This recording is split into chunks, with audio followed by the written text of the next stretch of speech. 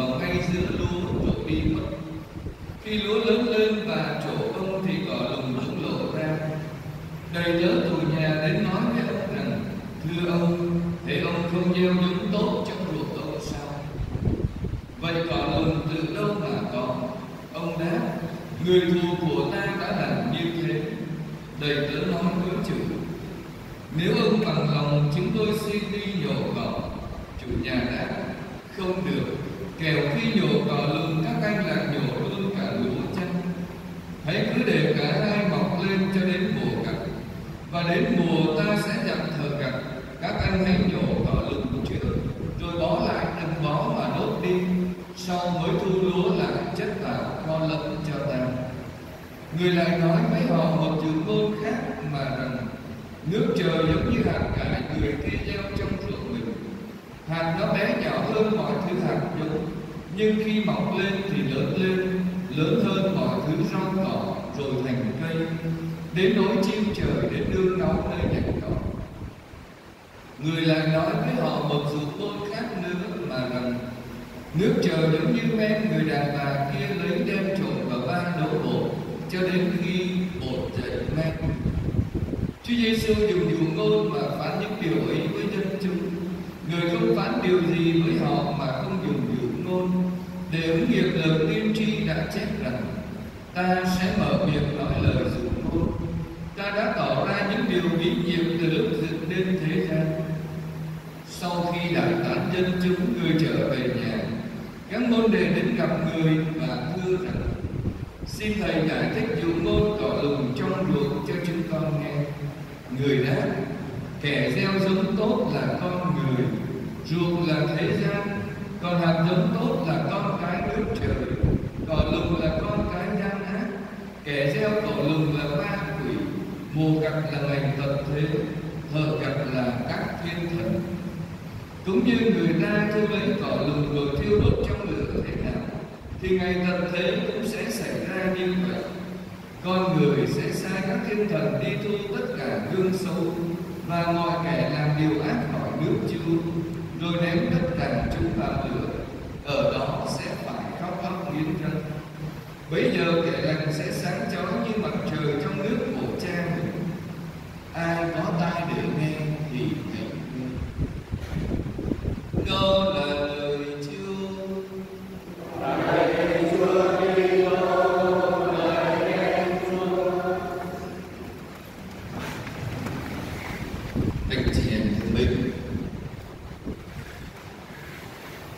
lời Chúa trong bản văn tin mừng, có ba dụ ngôn. Mà Matthew đã viết lại cho chúng ta dụ ngôn cỏ đồng dụ ngôn hàng cải bé nhỏ, và dụ ngôn bên trong bộ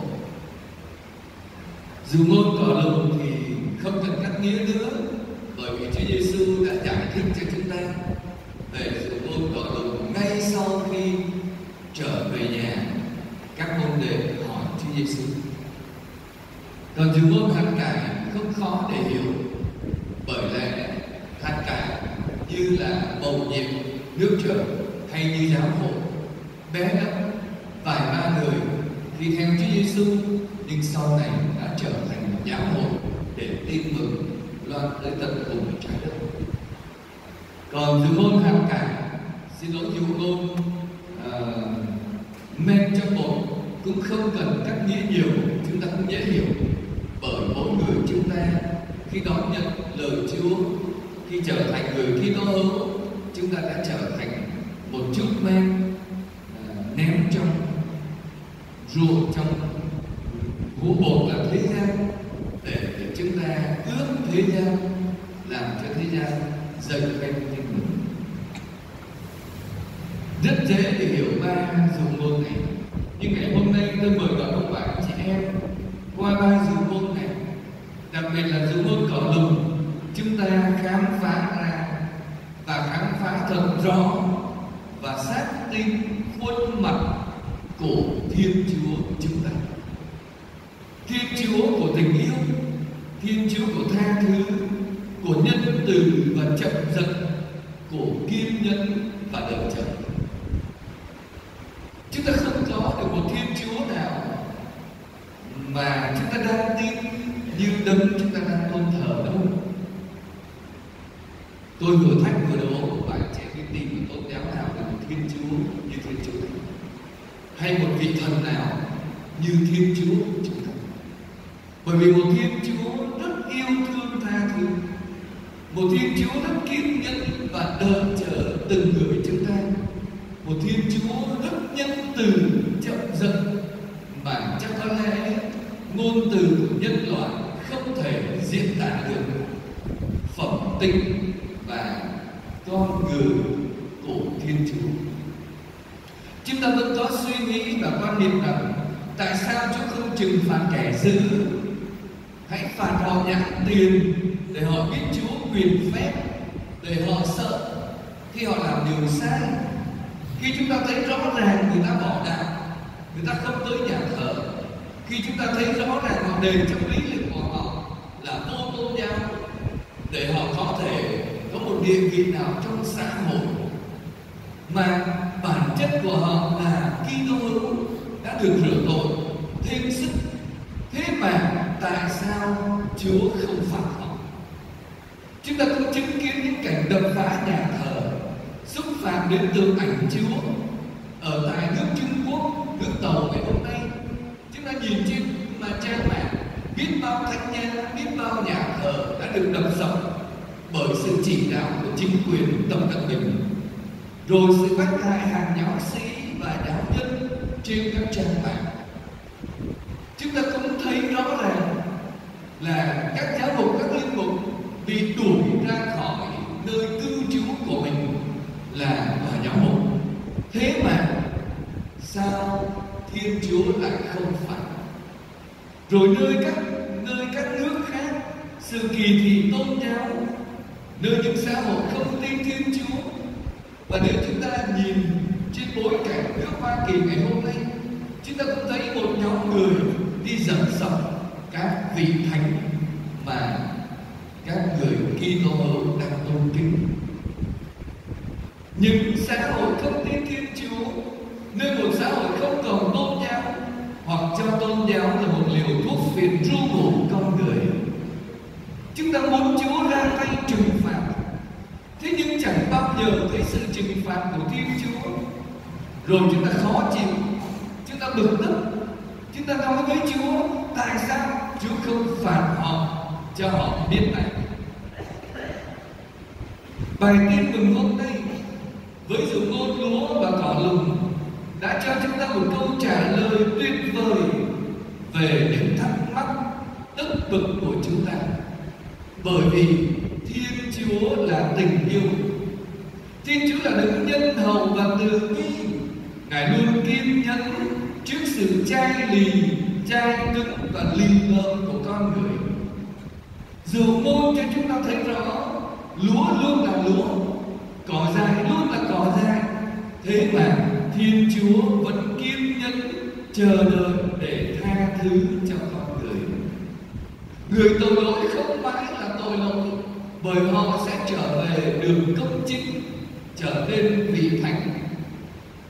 Người thánh thiện chắc có lẽ họ khó trở thành người tội lỗi.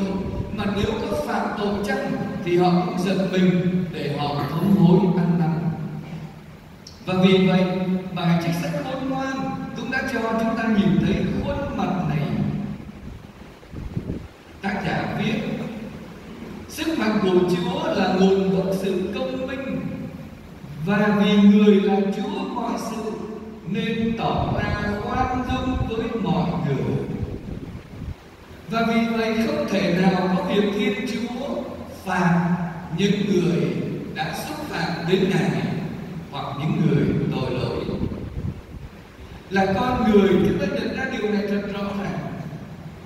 Trong con người của chúng ta có hai mặt, một tốt và một xấu, tạo thành hai mãnh lực để lôi kéo con người của chúng ta cái cái mặt tốt cái sự thiện đẩy chúng ta đi lên để chúng ta gặp gỡ thiên chúa nhưng cái sự xấu cái tội lỗi kéo con người chúng ta xuống à, thừa ruộng chen lấn cả cỏ lùm và lúa tốt từ bản chất của con người được dựng nên là tốt, là hoàn hảo, là hình ảnh của thiên chúa. Nhưng cái xấu, cái kiêu ngạo đã làm cho con người ra xấu với những thói hư tật xấu, với những thói quen không tốt. Thế mà chúa không phạt chúng ta. Ông bà anh chị em có thử suy nghĩ đúng không? Và ơn chúa, ngài dư đầy trên cuộc đời chúng ta ngài kiệt khi ngài ban ơn cho chúng ta. Ơn thánh hóa, ơn trợ giúp, để giúp chúng ta biến đổi, chứ không phải như cỏ lùng kia. Và vì thiên chúa kiên nhẫn chậm giận, chờ đợi con người trở về, mà ngài hành xử với chúng ta, hành xử với những người tội lỗi, hành xử với những người nhao bán đài và hành xử cả những người đóng đinh Đức Giêsu Kitô, con của ngài trên thập giá, bằng tình yêu và bằng sự tha thứ. Ở nơi môi miệng Chúa Giêsu, trước khi ngài chấm dứt cuộc đời ở trần gian để về với Chúa Cha, ngài nói gì? Lạy Cha, xin tha cho chúng, vì chúng lầm không biết. Đó là Thiên Chúa của chúng ta.